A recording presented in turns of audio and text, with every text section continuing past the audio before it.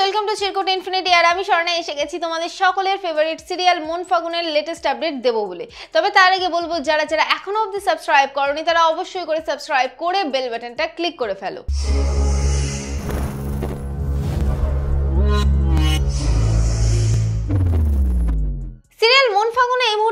পাচ্ছি আমরা যে ঋষি আর পিহুর মেহেন্দির অনুষ্ঠান চলছে। তো সেখানে একে অপরের হাতে নিজেদের নাম লিখে দিয়েছে আমাদের ঋষি ও পিহু। এরই মধ্যে মিস্টার ডালমার হাজির হয়েছে। আই মিন, মিস্টার ডালমার হিসেবে আমাদের সৌমেন বাবু হাজির হয়েছে। সৌমেন বাবু এখন অমৃত জুস সবাইকে সার্ভ করছে আর সবাই সেটা খেয়ে একেবারে বাবা করে প্রশংসা, একেবারে পঞ্চমুখ। তাও আবার মিস্টার ডালমারের। কিন্তু ব্যাপারটা হচ্ছে, এই যে চুল কোকড়া কোকড়া করে কালি ঝুলি মেখে চলে এসেছে সৌমেন কেউ নাকি তাকে চিনতেই পারছে না।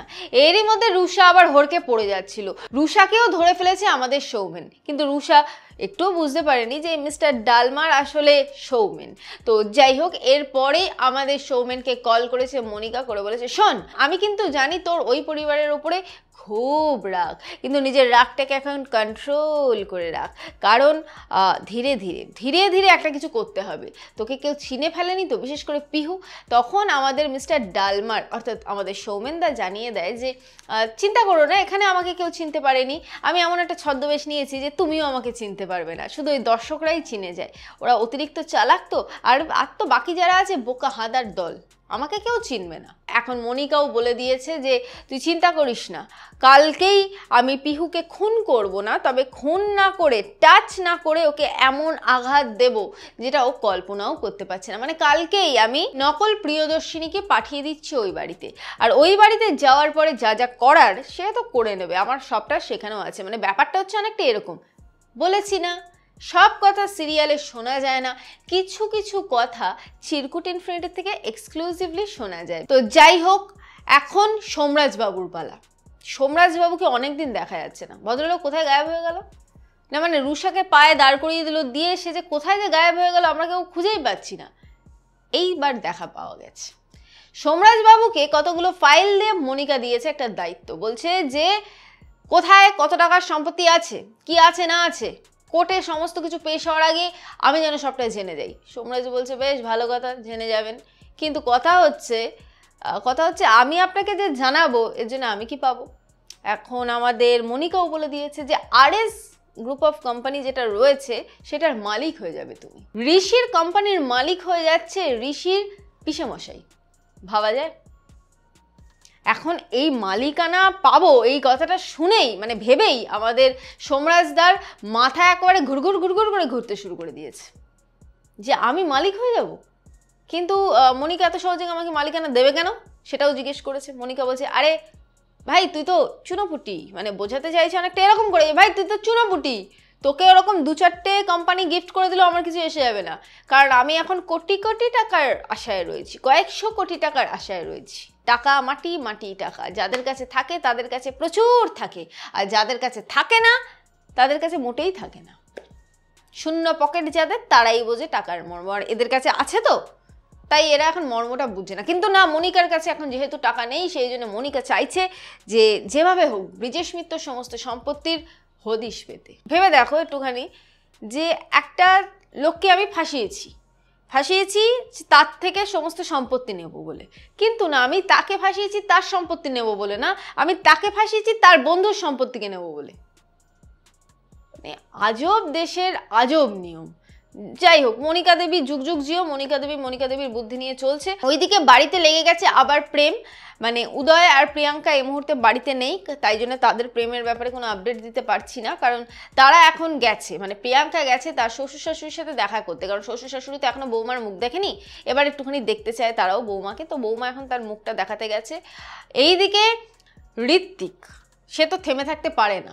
সে এই মুহূর্তে অনুষ্কাকে নিয়ে হলুদ টলুদ মাখাচ্ছে আর সেই মুহূর্তে নিহারিকা ঢুকে গেছে। আর কি আর করবে? প্রেমে বাধা, চুপচাপ দাঁড়িয়ে গেছে ঋত্বিক যে, না, আমি আর কিচ্ছু বলব না।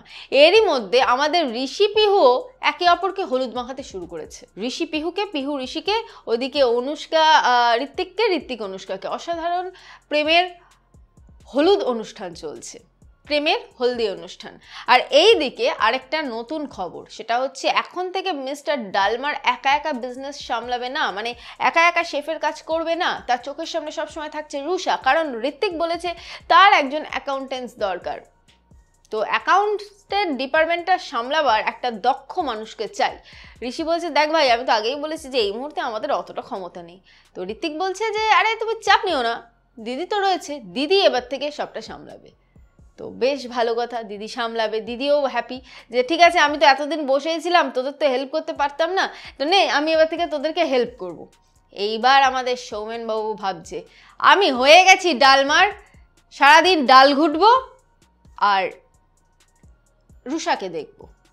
আমার চোখের সামনে রুষা থাকবে, রুষার ফ্যামিলিটাকে তো আমি ঘাটতে পারিনি, আমি ডালটাকে ঘাটবো। ডালটাকে ঘাটবো আর রুষাকে দেখব, ডালটাকে ঘাটবো আর রুষাকে দেখব। বলা যায় না। এই কালো ডালমারের প্রেমে যদি এবার রুষা পড়ে যায়, কিন্তু দুঃখের বিষয় হচ্ছে সেটা হচ্ছে না। কারণ ডক্টর ময়ূক বাবু আবারও এন্ট্রি নিয়ে নিয়েছে ঋষি পিহুর বিয়ে উপলক্ষে। এখন পিড়ি ধরে রয়েছে আমাদের ঋত্বিক আর ময়ূক। মালা বদল ফদল হবে, সেই মুহূর্তে চলে এসেছেন। ঋষির মা এসে জানাচ্ছে যে, টুবাই, দেখ আমি কাকে নিয়ে এসেছি। সাথে সাথে নকল প্রিয়দর্শিনী এসে জানাচ্ছেন টুবাইদা এবার দুটো সপ্তর্ষি মণ্ডল এক হবে, বলো? ঋষি ভাবজি এটা আবার কেড়ে বাবা? তো মহা মুশকিল। এতদিন ধরে আমি এত কষ্ট করে আবিষ্কার করে উঠলাম যে পিহুই আসলে প্রিয়। নিউটনকেও এত কষ্ট করতে হয়নি আপেলের সূত্র বার করার জন্যে। আমাকে যতটা কষ্ট করতে হচ্ছে, তারই মধ্যে আমার মাকে আমি ফিরে পেলাম। মা এসে কোথা থেকে একটা মেয়ে এনে বলছে, এটা নাকি প্রিয়দর্শিনী? কি হচ্ছেটা কি আমার সাথে? যখন প্রিয়কে পাচ্ছিলাম না, কোনো প্রিয়কেই আমি পাইনি। আমার প্রিয়কে আমি পাচ্ছিলামই না। একা একা জীবন কাটিয়েছি এতগুলো বছর, এতগুলো দিন। আর এখন যখন আমি আমার প্রিয়কে পেয়ে বিয়ে করছি, তখন কি না আরেকখানা প্রিয় লাইন দিয়েছে? যখন আসে তখন কি সবাই মিলে আসে? আর যখন আসে না তখন কেউই আসে না। কিন্তু না আমি আমার প্রিয়কে চিনি। এদিকে মাসি প্রিয়কে বলার চেষ্টা করছে মানে আমাদের পিহুর মাসি পিহুকে বলার চেষ্টা করছে, ভাই সরি মানে দেখ বাবা, তুই যাকে সরি দেখ মা, আসলে তুই যাকে বিয়ে করছিস, তার বাবাই তোর বাবাকে খুন করেছে। কিন্তু কি করে বলবে সে বুঝতে পারছে না। কিন্তু মাসি বুঝতে পারছে। মাসি আবার ওই পিসির সাথে বেশি থাকে তো, ওই জন্য ভবিষ্যৎ দেখতে পাচ্ছে। মাসি এখন বুঝতে পারছে একটা বিশাল বড় ঝড় উঠবে। এত সহজ যেটা লাগছে, সেটা এত সহজ হবে না। সেটা আমরাও বুঝতে পেরে গেছি, মাসি। এত সহজে এদের বিয়েটা হবে না। কিন্তু দুঃখের বিষয় হচ্ছে একটাই, সেটা হচ্ছে এই নকল প্রিয়দর্শিনীকে টাইটটা দেবে কে? আমরা ঋষি না পিহু? সেটা কিন্তু জানতে হবে। আর এই নকল প্রিয়দর্শিনী এসে ঠিক কতটা লেভেলের নাটক করবে? জানতে হলে, দেখতে হলে, দেখতেই হচ্ছে সিরিয়াল মন ফাগুন, স্টার জলসা ও স্টার জলসা এইচডিতে আমার ভিডিও দেখার জন্য ও লাইক, কমেন্ট, শেয়ার করে চেরকো টেন ফ্রেন্ডের চ্যানেলটিকে সাবস্ক্রাইব করার জন্য অসংখ্য ধন্যবাদ সকলকে।